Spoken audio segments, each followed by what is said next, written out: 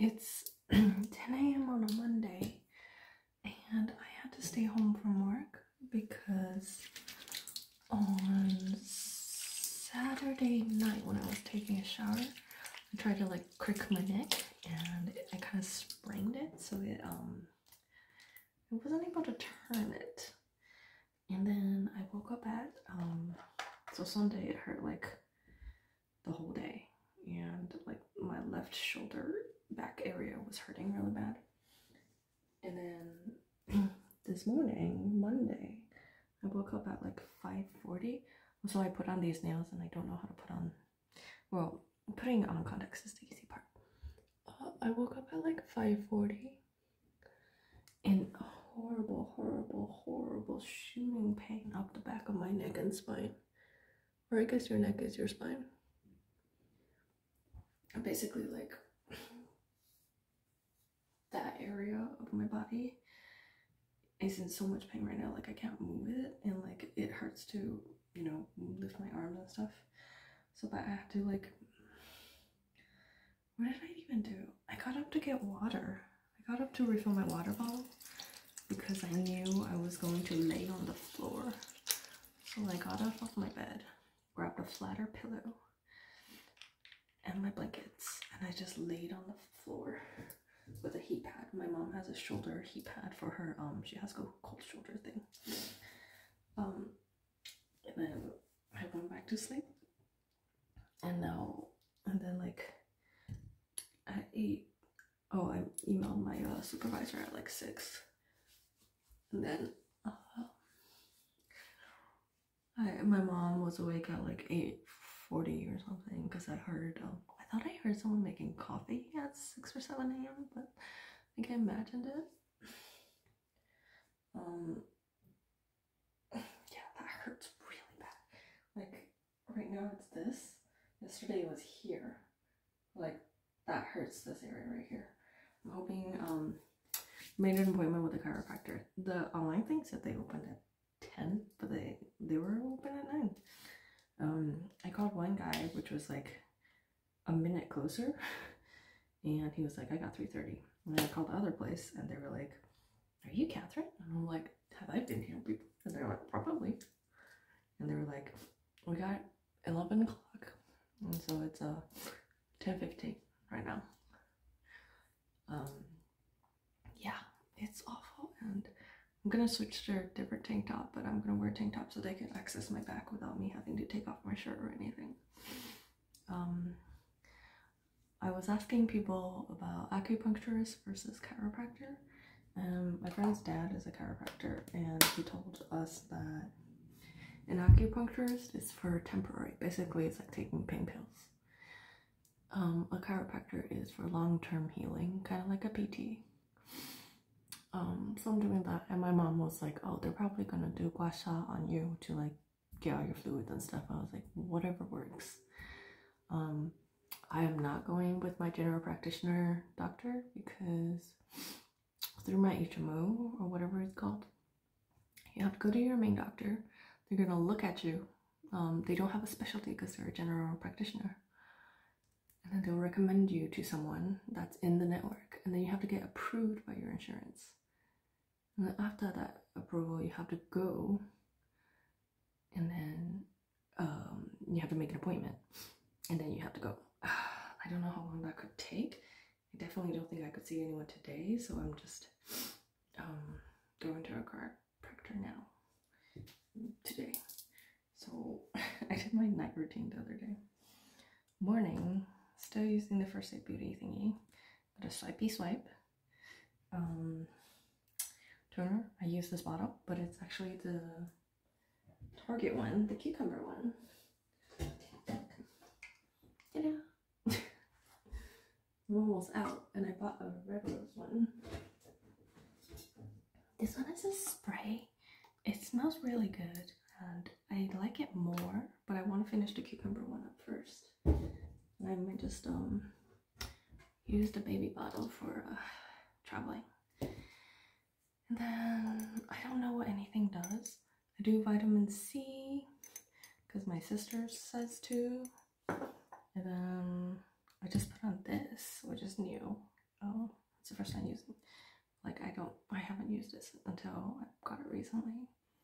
And then this is also vitamin C, but this is serum or something. I don't know. It's like they both say serum, but this one is like watery. This one is like straight up oil. Um, I like it because I have really bad acne right now, and um, it helps me out. And now, of course, the belif Eye Balm Eye Cream. And then I put Honey of sunscreen on. I use sunscreen on my face and my arms and my hands. That's that's my daily routine. I noticed that a lot of guys that I know, when they apply sunscreen, they'll do like or like on their face and you just rub it as if it's one plane. My mom told me to do sections. You do your forehead, you do your nose and cheeks, and then you do like your chin section. And like my mom always said to not um what do you say? What do you call it? Don't rub down. I noticed lately I've been doing this a lot, which is like it's probably because my skin's already loose. Most people's are. So like it's making my skin loose. But that's okay. We age. It makes sense. So I use SP. I use this, and I usually do SPF 50 on my left arm because I'm driving. And these are just like the bottles that I've been using forever that I apply to my arms instead of my face. Because um, the face I used a brand new bottle. Um, and then the 55 I use on my other arm because I can only get one squeeze out of this a day. but uh, my mom is taking me today, so I should probably have applied it opposite ways. And depends on my shirt that I'm wearing. I apply it to my cleavage and my neck. I take off all my bracelets and stuff.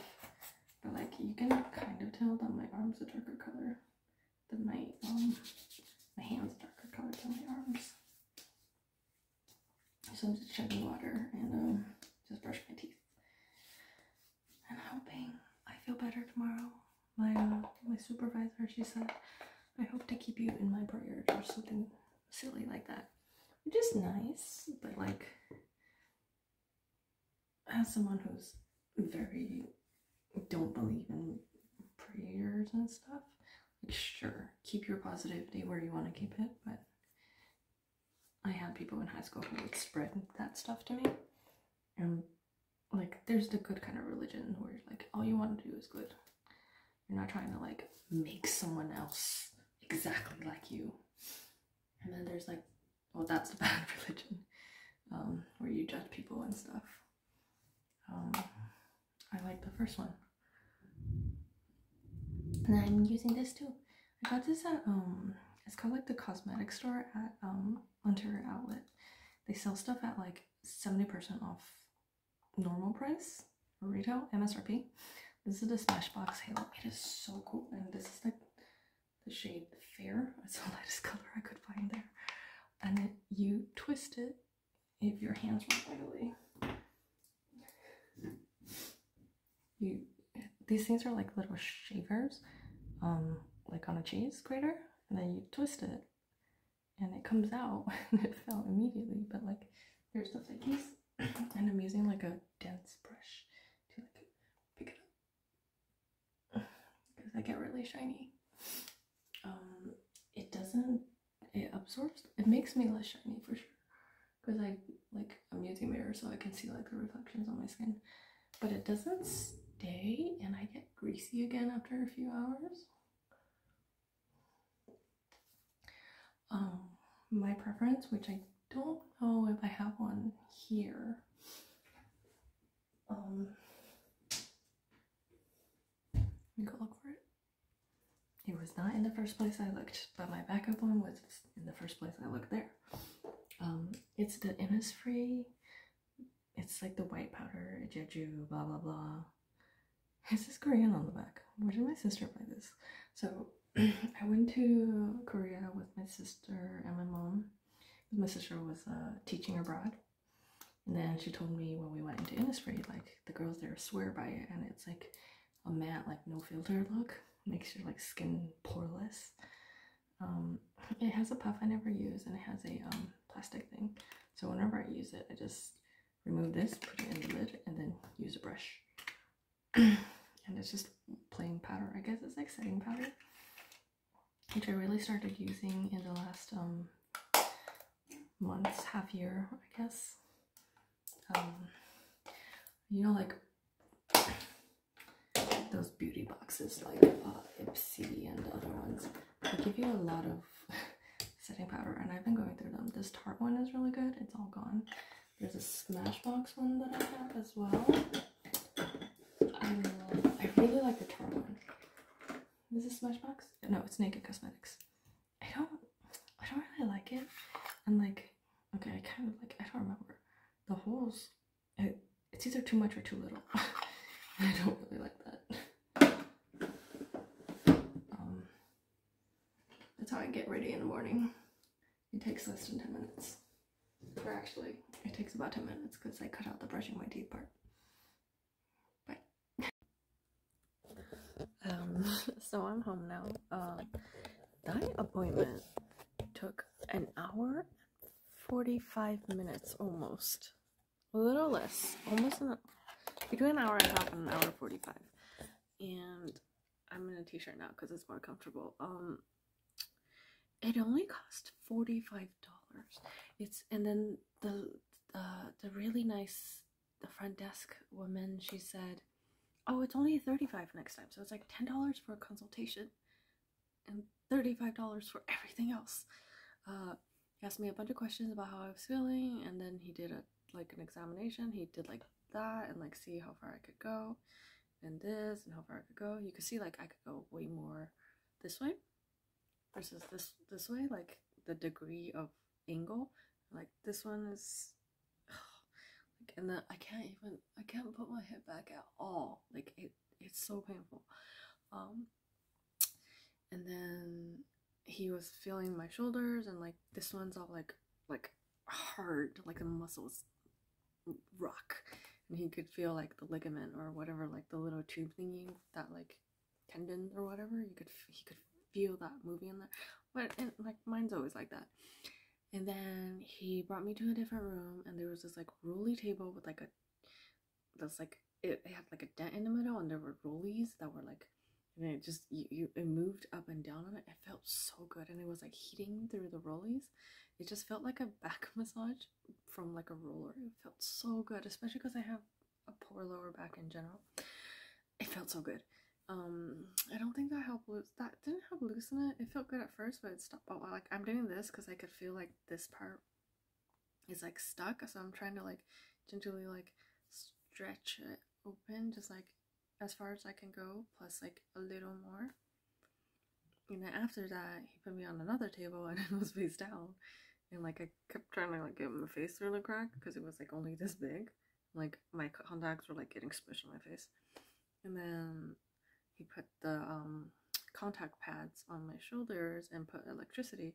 It was so weird. It felt like I was being like like jabbed when it first started, and then it tickled when it was just like zzz. and then after a while it went back to just like normal buzzies. Like that was when he was setting up like intensity and such. And then that he also put a heat pad on top of that, which is super nice. And then after that, he he used some like cooling mint oil and like lotion or cream, and like kneaded out a little bit more. And I think he said there was some difference. Um, and he's like, "This is the like all the treatments I can do today. It's been a lot." And I was like, "Yeah."